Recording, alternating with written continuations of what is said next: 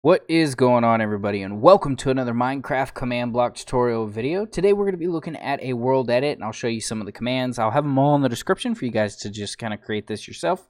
Uh, this one's a little bit more advanced because I have a lot more just going on here. But uh, whenever you press the on button, make sure you're not within the first like five slots. Just kind of get in the last one. Just turn it uh, uh on uh, it will activate and give you the items that you need to use the world edit. Uh, if you do not want to use world edit anymore, just turn it off and uh, you can go on about doing whatever you want and you can turn it right back on. So I got all the items, I was playing around with it, but I'm going to get away from here because it's like the third time I try to record this and I destroyed the machine every time. so make sure you're not holding none of the items. So I'm going to come over here and I'm going to show you the first one, which is stone if you throw stone on the ground just throw it down and you could actually look anywhere that you want to actually like create something. So i'm just going to look around uh, and it will actually do whatever we want. Now you could actually destroy this uh, and stop actually doing this command thing.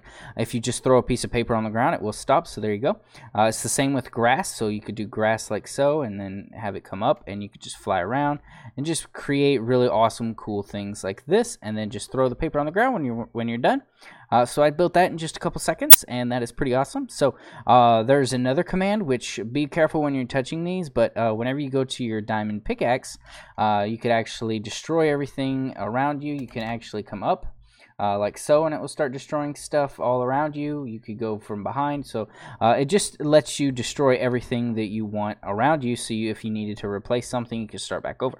Uh, now the fishing rod is a little bit different. This actually takes the terrain around you and brings it up. So as you guys can see right there, so if I wanted to, I could just start bringing stuff up. I can move different parts of the earth from down there. Uh oh, I'm too far from the uh, actual uh, machine over here. There we go. So uh, yeah, it's just building up all of the trees. I could build the trees up and I could just move around. You guys can see the armor stand is actually doing that. So it clones up uh, all of these. So if I go down, I could actually clone up some of this stuff. So I can move the terraform and uh, just kind of like if I move off, uh, uh the armor stand will still follow you, but it will no longer uh, actually clone everything up in the sky. So this is just a way to like terraform. So if I wanted to, I could come way down here and, and just get all this and just clone it all up. So it's pretty cool. I really like the way that you could do like some of this stuff. So you could go down like something like this. You could actually throw this down and do it at the same time. So if you wanted to, you can actually make some pretty really cool stuff. Uh, but that is pretty much it. I mean, that is pretty much it for the tutorial, guys. I'll show you how to create it over here. So let me come over here.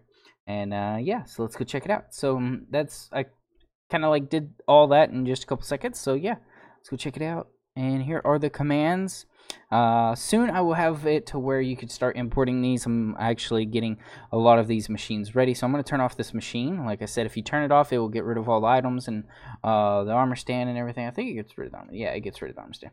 Uh, so yeah, let's go ahead and check it out. I was actually playing around with some of the commands. So uh, this is a little bit difficult. So let's get into this tight little fit. So uh, the on-off switch, uh, let me go ahead and select this one right here. Just Okay, so the on switch is filling right here uh, in this small little box. It will basically put redstone right here, uh, all the way just right in front of these.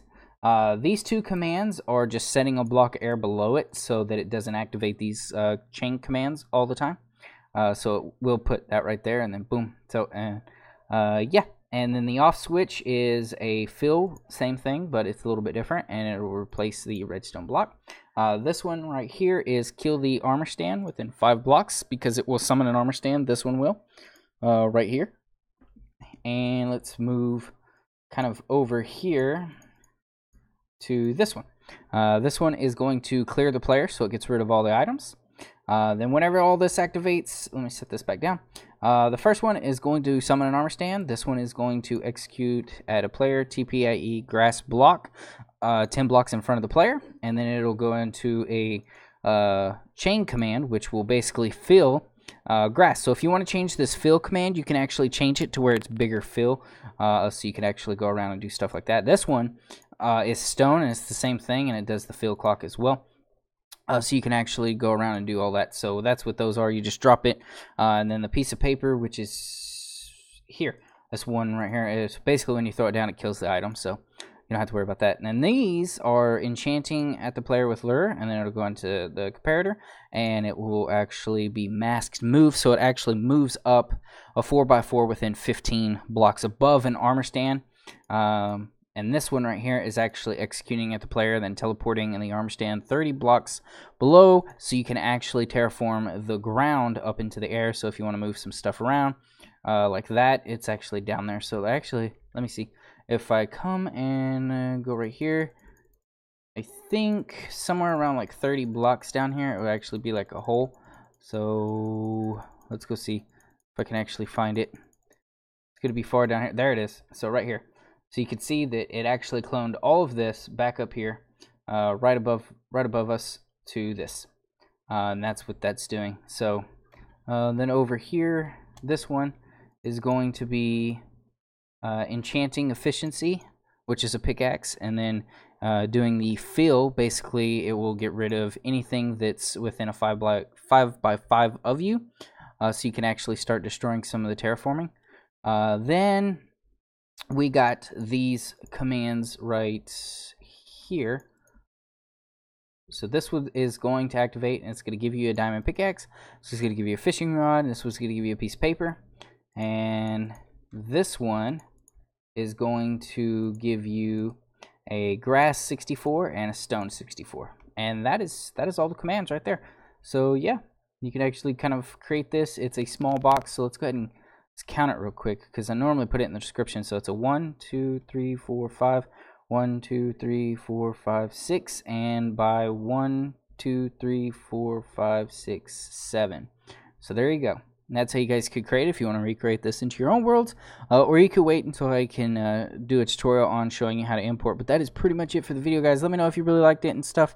Uh, and if you wanted a world edit and things. And I'll see you guys in the next video. Bye!